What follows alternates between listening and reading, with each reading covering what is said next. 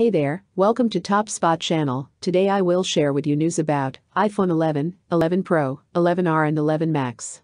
The specs, features and prices we expect from Apple in September, so let's check it out. iPhone 11, 11 Pro, 11R and 11 Max. The specs, features and prices we expect from Apple in September. We expect Apple to unveil a brand new iPhone in less than 3 weeks.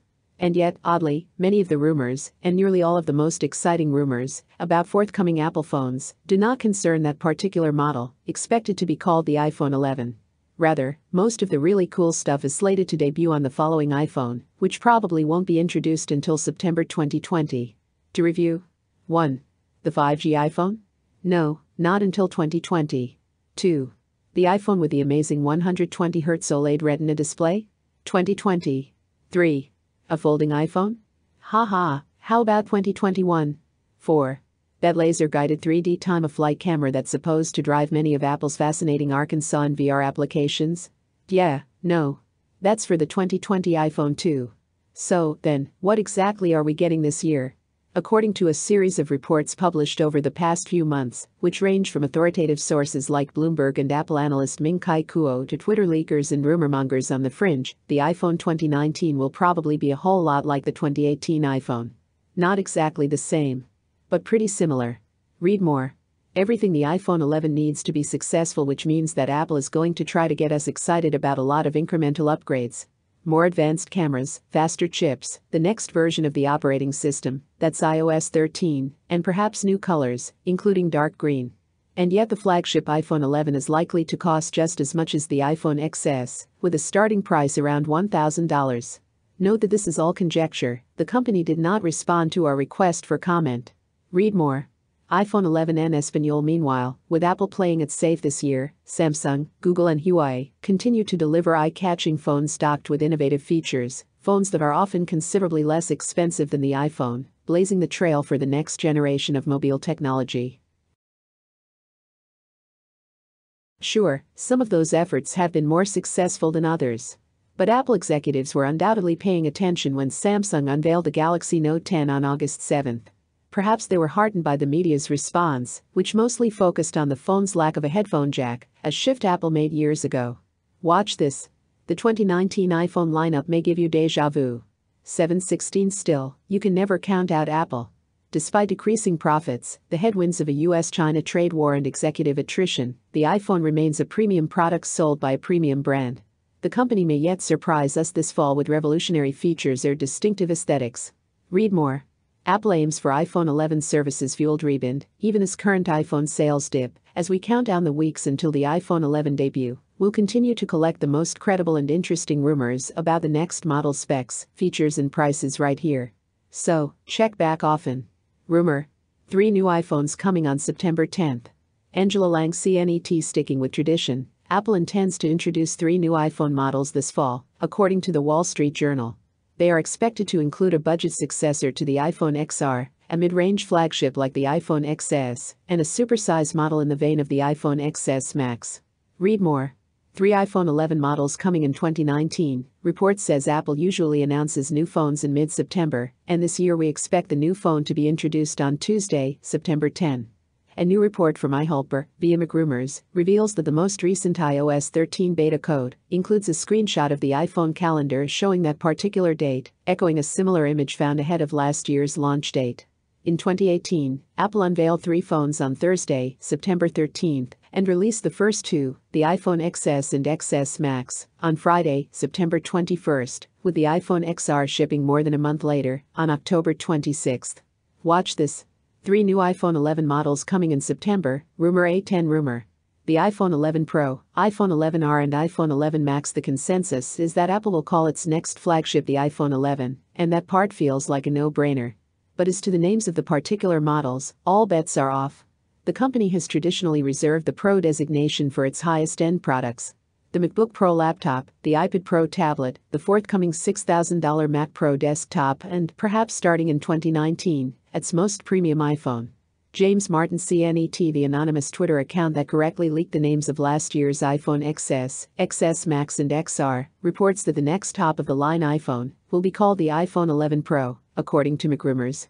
But I've also seen name variants like the iPhone 11R and 11 Max, in passing. As CNET's Jessica Dolcourt has pointed out, the company may have dug itself into a hole, as there's no obvious coherent sequel to the iPhone XS, XS Max, and XR.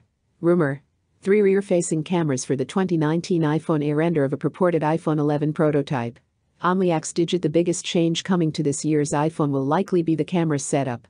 Since last year, we've been hearing that Apple would give at least one of the 2019 models, and perhaps the one called the iPhone 11 Pro, three rear facing lenses, source, Bloomberg.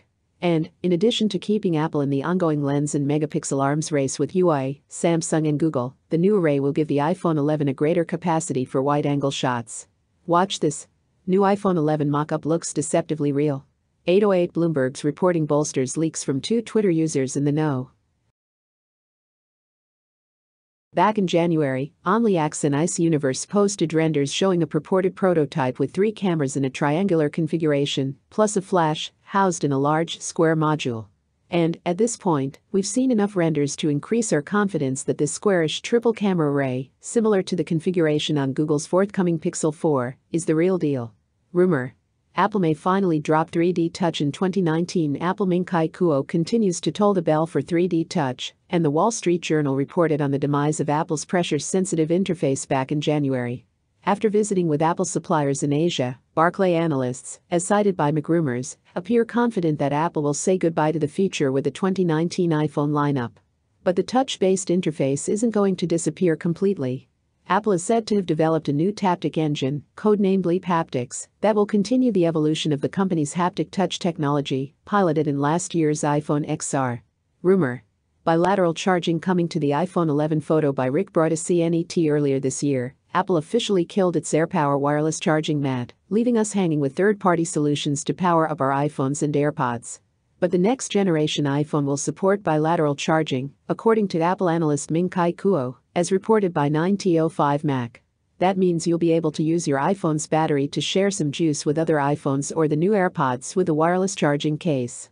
If true, Apple will again be playing catch up to Samsung, whose Galaxy S10 phones, released back in March, can charge other devices, including the company's Galaxy Buds and Galaxy Watch Active, via the wireless Qi standard. The new Galaxy Note 10 also supports this feature, which Samsung calls wireless power share. Watch this. Apple pulls AirPower charging mat, Zuckerberg calls for 122.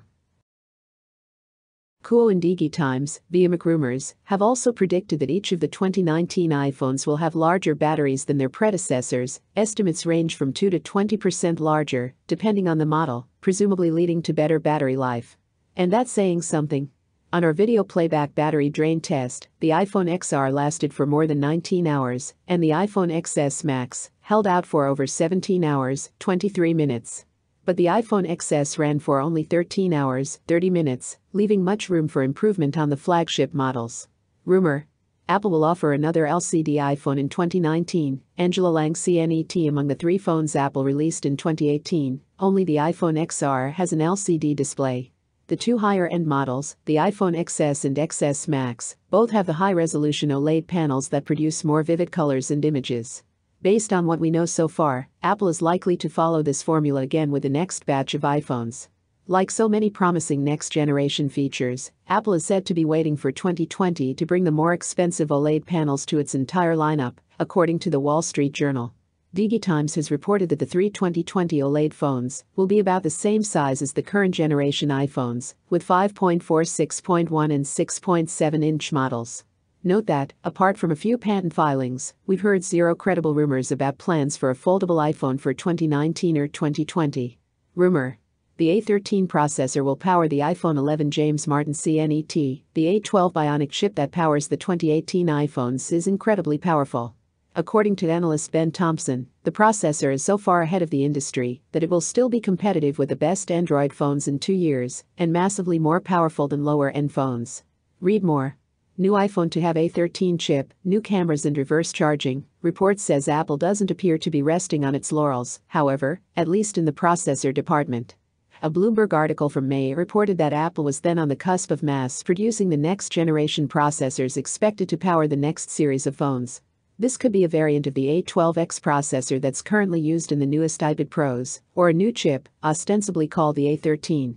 Almost definite. The 2019 iPhone won't support 5G. Apple's most recent phones all use modems built by Intel, which had planned to have a 5G modem ready for commercial devices in the second half of 2019.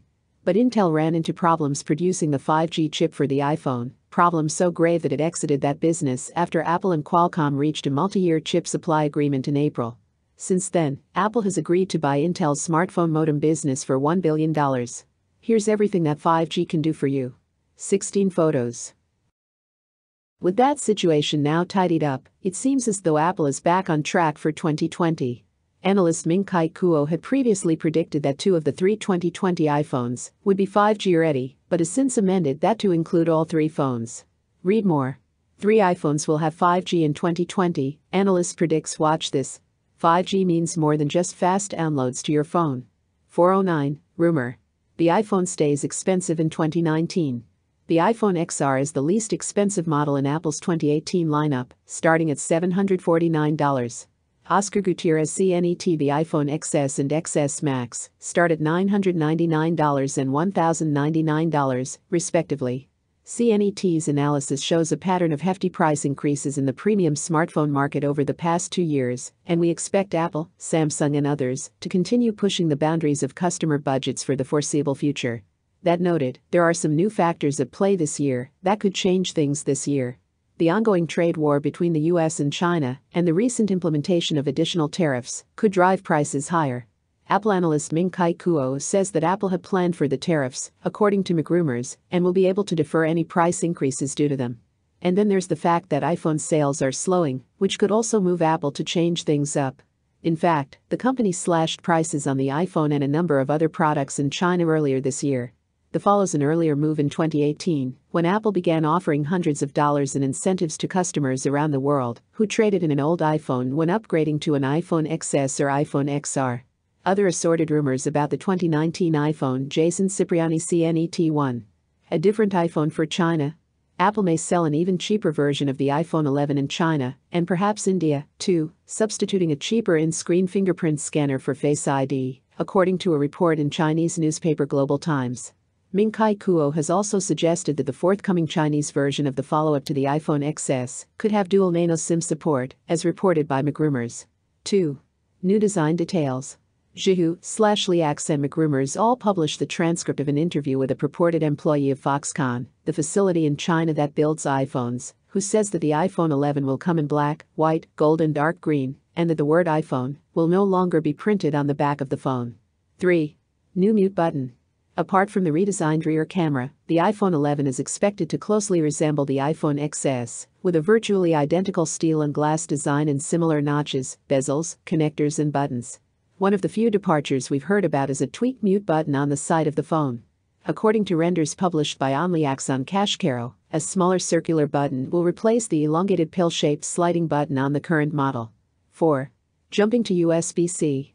Apple has now replaced its proprietary Lightning connector with USB C on the newest iPad Pros, MacBook Air, and MacBook Pros, and Bloomberg reports that Apple is testing USB C on some prototype iPhones. 5. Pencil 1. Apple may introduce three OLED phones in 2020. A smaller 5.4 inch model that would replace the current 5.8 inch model, the same 6.1 inch option as the XR, and a larger 6.7 inch Max version, according to MacRumors and Ming Chi Kuo. 2. Bloomberg reports that Apple's forthcoming 3D camera, due for the 2020 models, will drive an updated version of Face ID that will extend the technology's range, improve security, and enable new Arkansas capabilities. 3. Apple is said to be working on a new way for users to interface with future editions of the iPhone, according to Bloomberg. The touchless gesture control will let users interact with the phone without touching the screen. Though it's not scheduled for 2020 or later, it sounds like it could be cool. 4. Apple's 2020 iPhones may have full screen Touch ID or an under display fingerprint sensor. 5. Starting in 2020, the company will stop using Intel chips in its Macs in favor of custom ARM based processors.